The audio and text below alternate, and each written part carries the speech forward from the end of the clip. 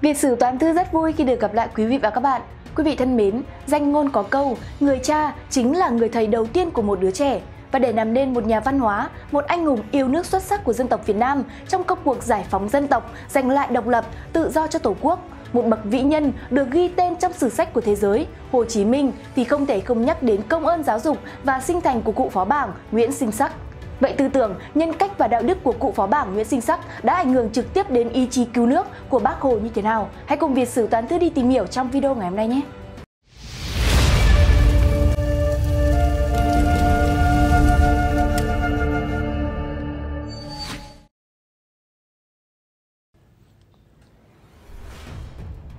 Cụ phó bảng Nguyễn Sinh Sắc sinh năm Nhâm Tuất năm 1862. Cụ là con của ông Nguyễn Sinh Nhậm, người Thanh Trương, Nghệ An và bà Hà Thị Hy làm nghề hát rong. Theo gia phả họ Hà thì ông tổ cùng Nguyễn Sinh Nhậm là Nguyễn Bá Phổ ở làng Kim Liên, làng Sen, Nam Đàn, Nghệ An. Đến thế hệ thứ tư thì ông tộc trưởng Nguyễn Bá Dân xin đổi chữ lót thành họ Nguyễn Sinh. Nguyễn Sinh Nhậm, tức Nguyễn Sinh Vượng, sinh trưởng trong một gia đình khá giả ở làng Sen, được học hành, lớn lên lấy vợ, đẻ do Nguyễn Sinh Trợ, tức Nguyễn Sinh Thuyết. Chẳng bao lâu vợ mất, Ông Nhậm lấy vợ lẽ là bà Hà Thị Hy, sinh ra Nguyễn Sình Sắc.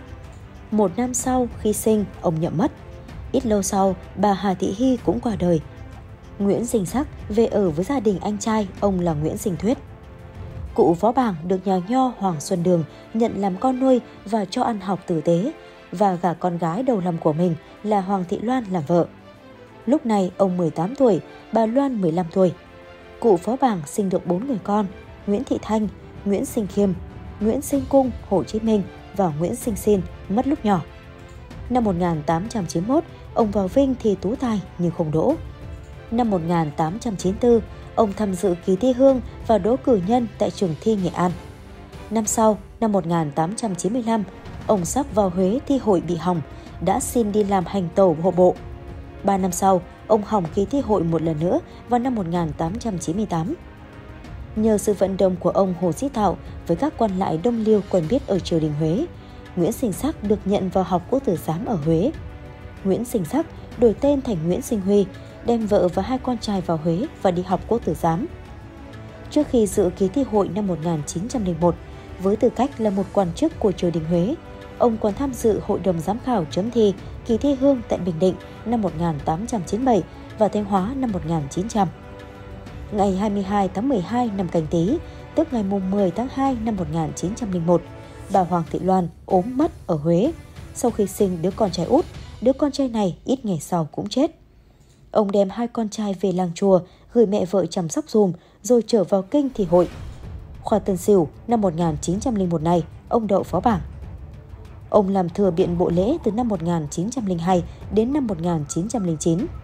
Tháng 5 năm 1907, ông bị đổi đi chi huyện Bình Khê, xã Tây Giang, huyện Tây Sơn, tỉnh Bình Định.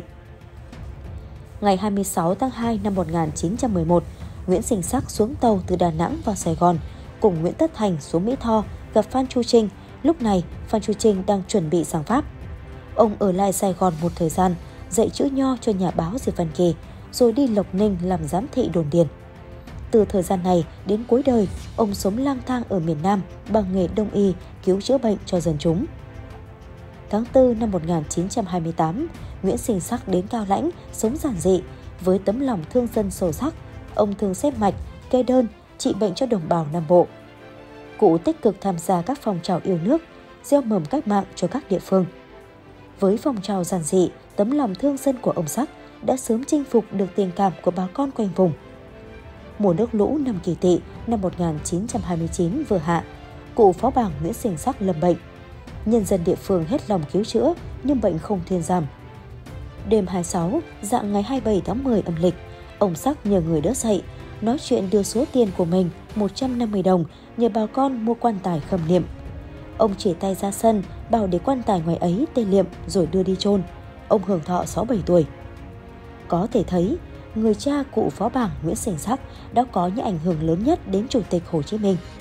Ông Nguyễn Sình Sắc lúc lên 3 tuổi thì bố mất và sau đó 3 năm thì mẹ cũng qua đời và đến tuổi 37 thì vợ tạ thế. Cuộc đời ông chịu nhiều sự cô đơn. Từ đó sống cảnh gà trống nuôi con, đi đâu ông cũng mang cậu Nguyễn Sinh Cung đi cùng. Cậu bé Nguyễn Tất Thành cũng gặp khó khăn vất vả. Ngay từ lúc nhỏ 3 tuổi thì ông ngoại mất, 10 tuổi thì mẹ qua đời. Và bố là người có nhiều ảnh hưởng sâu đậm nhất đối với cuộc sống và sự nghiệp của cậu. Cách dạy của cụ Phó Bảng với các con là dạy lòng nhân ái, đức tiến nghĩa và sức chế dũng, lấy bản thân làm chủ, nhân quân làm gốc. Cụ chăm lo bồi đắp cho con cái về đạo làm người, lấy cơ sở làm nền tảng luân lý truyền thống Việt Nam làm nền tảng. Và khi đã vào học ở trường Pháp, Việt, rồi vào học cô Tử Giám năm 1905 đến 1909, cậu học sinh tân học Nguyễn Tất Thành, tức Nguyễn Sinh Cung, vẫn không bỏ phí hoàn cảnh thuận lợi của mình là tranh thủ sự dạy bảo của bố, của người thầy về hán học.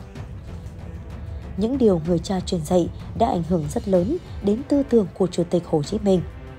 Chúng ta có thể thấy chính phong độ thanh thản, tư tưởng trong sáng của người cha đã ảnh hưởng nhiều đến con trai. Sau này, Bác Hồ cũng dùng những khái niệm đạo đức cơ bản của nhân loại, trong đó có phần đạo nho. Những cách thể hiện, truyền đạt của bác, ta thấy cái cốt lõi vẫn là tư tưởng đạo đức truyền thống của dân tộc. Bác đã tiếp thu có chọn lọc tinh hoa văn hóa của cả loài người, nhưng phần ảnh hưởng bác vẫn tiếp thu từ buổi ban đầu, từ người cha và cũng là người thầy học thân yêu là rất quan trọng. Năm 1943, Hồ Chí Minh viết Ngục Trung Nhật Ký tại nhà Lao Tĩnh Tây Trung Quốc. Tác phẩm viết bằng chữ Hán, thứ ngôn ngữ do chính người ra dạy từ hồi nhỏ, còn là tác phẩm văn học nổi tiếng trong kho tàng văn thơ cách mạng Việt Nam. Đó là những mối quan hệ tuyệt đẹp, mang tính thừa kế giàu sức chiến đấu, là phát huy sáng tạo, vốn văn hóa nghệ thuật mà chỉ giữa ông Nguyễn Sinh Sắc và lãnh tụ Hồ Chí Minh mới có được. Chủ tịch Hồ Chí Minh, danh nhân văn hóa thế giới, người đã tiếp thu tinh hoa của nhiều nền văn hóa, trước hết là truyền thống đấu tranh cách mạng và nền văn hóa của dân tộc Việt Nam – vốn được trùng đúc bởi những gia đình, những con người cụ thể. Điều may mắn đối với người là ngay từ bé, người đã được sống trong một gia đình mà mỗi con người có nét đẹp riêng. Trong đó người cha, ông Nguyễn Sình Sắc là người có học thức cao, có phong độ quảng bá và có tư tưởng trong sáng đã ảnh hưởng rõ nét đối với bác. Dưới thời thực dân Pháp và đế quốc Mỹ xâm chiếm miền Nam, biết cụ Phó Bảng là người yêu nước, thương dân và là thân sinh Chủ tịch Hồ Chí Minh – bọn chúng và bè lũ tay sai đã làm đủ trò để phá ngôi mộ của ông. Nhưng nhân dân vùng cao lãnh đã quyết tâm và khôn khéo bảo vệ được chu toàn. Sau khi đất nước đã sạch bóng quần thù, Tổ quốc thống nhất để giữ chọn tình nghĩa sâu nặng với cụ Phó Bảng, người đã có công lớn sinh ra Chủ tịch Hồ Chí Minh, người gieo mầm cách mạng cho vùng đất Kiều Long. Ngôi mộ của cụ Phó Bảng Nguyễn Sinh Sắc được xây dựng lại trên vị trí cũ khang trang đẹp đẽ, Công trình được khánh thành vào ngày 31 tháng 12 năm 1977. Khu di tích phần mộ cụ Nguyễn Sinh Sắc ở số 123 trên 1 đường Phạm Hữu Lầu thuộc phường 4 thành phố Cảo Lãnh. Với diện tích 3,6 hecta, khu di tích được chia thành 3 khu vực chính, gồm khu lăng mộ cụ phó bảng Nguyễn Sinh Sắc, nhà sàn Bắc Hồ và ao sen. Ngôi mộ cụ phó bảng quay về hướng đông, có mái hình cánh sen cách điệu, giống hình dáng bàn tay xòe úp xuống, trên mái đắp nổi hình tượng chín con rồng, tượng trưng cho các tỉnh đồng bằng sông Cửu Long luôn che chở và bảo vệ ngôi mộ người chí sĩ yêu nước. Mộ được ốp bằng đá hoa cương, nên mộ bằng đá mài hình lục giác không đều, mở rộng dần ra hai bên và phía trước. Phía trước mộ là ao sen hình ngôi sao năm cánh, chính giữa dựng một đài sen trắng cách điệu cao gần 7 mét, tượng trưng cho cuộc đời thanh bạch của cụ phó bảng Nguyễn Sinh Sắc và cũng là biểu tượng cho quê hương Đồng Tháp. Có thể khẳng định rằng chính sự giáo dục của cụ phó bảng Nguyễn Sinh Sắc không chỉ truyền cho các con trí tuệ, học vấn mà còn truyền lòng nhiệt huyết, ý chí mạnh mẽ và động lực vượt qua mọi gian nan để vươn tới sự nghiệp lớn cứu nước, cứu dân, giải phóng dân tộc. Tính cách, ý chí của người dân xứ Nghệ, lòng yêu nước, thương dân của cụ Nguyễn Sinh Sắc đã ảnh hưởng sâu sắc và theo suốt cuộc đời Hồ Chí Minh sau này.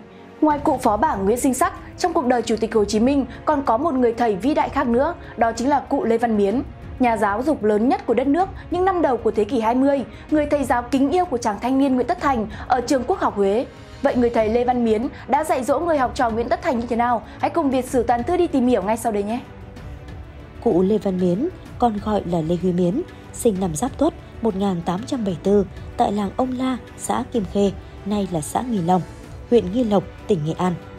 Sinh ra trong một dòng họ, gia đình khoa bảng ở một vùng đất địa linh nhân kiệt – nên từ rất sớm, Lê Văn Miến đã được tiếp xúc và làm quen với học vấn và sách vở, cũng như thấm nhuần truyền thống bất khuất của quê hương. Đây cũng là thời kỳ thực dân Pháp đã bình định sóng nước ta và thực hiện chính sách dùng người An Nam trị người An Nam.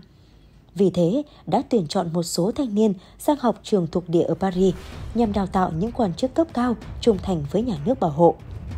Ba người được chọn trong khóa học năm 1888 là Hoàng Trọng Phu, Thân Trọng Huệ và Lê Huy Thản, anh trai của Lê Văn Miến.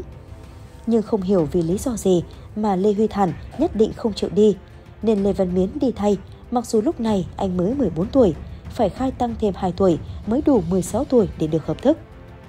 Năm 1892, sau khi tốt nghiệp trường thuộc địa, Lê Văn Miến không chịu về nước làm quan mà ở lại xin theo học trường cao đẳng mỹ thuật Paris, một trường mỹ thuật danh giá của châu Âu thời đó.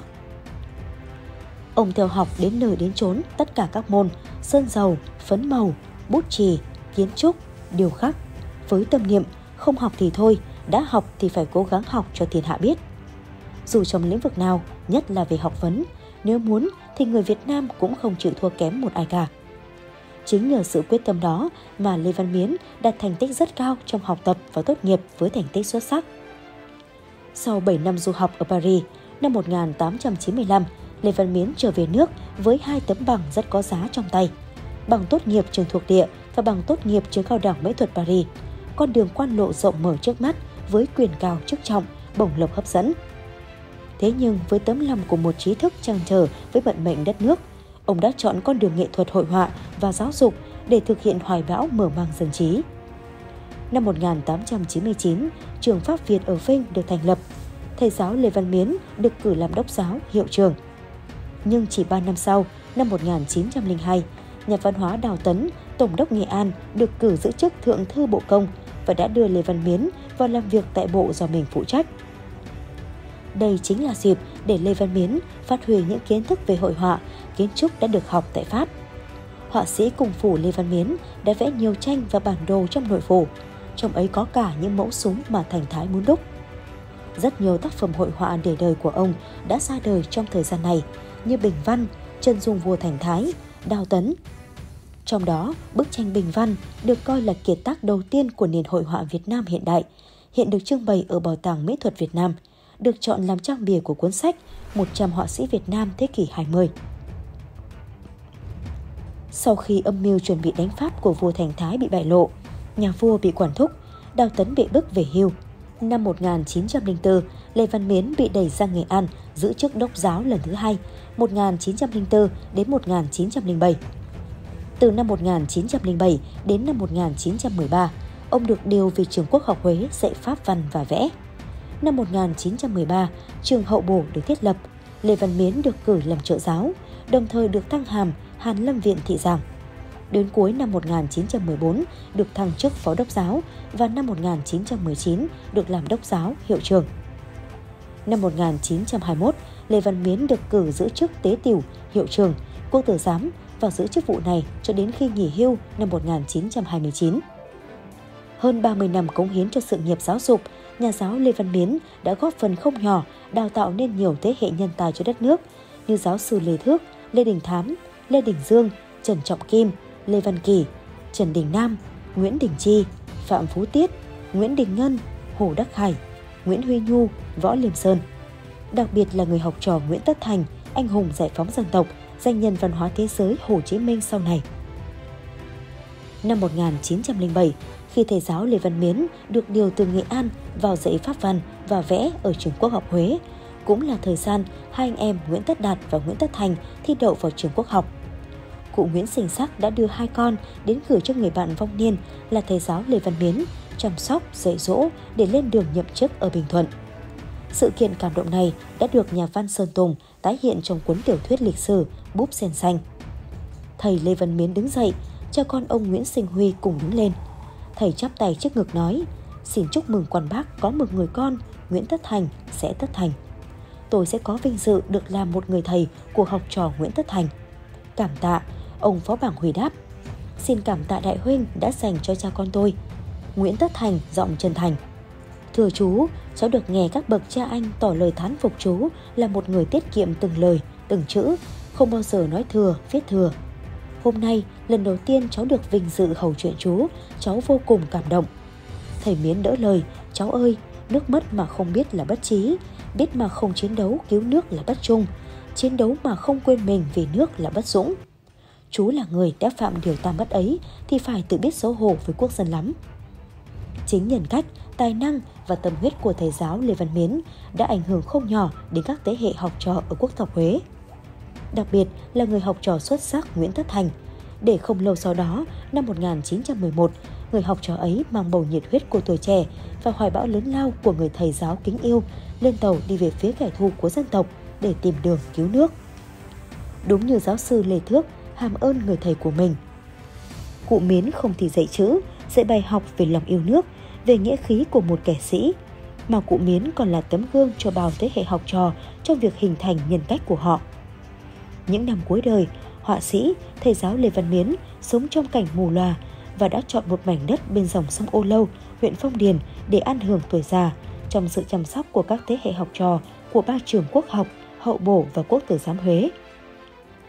Đặc biệt là người học trò Nguyễn Tất Đạt, anh trai của bác Hồ, luôn ở bên cụ trong những ngày cuối đời và lo chu toàn đám tang cho người thầy kính yêu của mình. Vị thân mến, họa sĩ, nhà giáo Lê Văn Miến mất ngày 6 tháng 6 năm 1943. Cụ đã đi trước 2 năm, không kịp chứng kiến người học trò xuất sắc của mình đọc bản tuyên ngôn độc lập, khai sinh ra nước Việt Nam Dân Chủ Cộng Hòa như cụ hằng mong ước. Đến đây thì thời lượng của chương trình xin phép dừng lại tại đây. Cảm ơn các bạn đã quan tâm và theo dõi. Còn bây giờ, xin chào và hẹn gặp lại trong các video tiếp theo.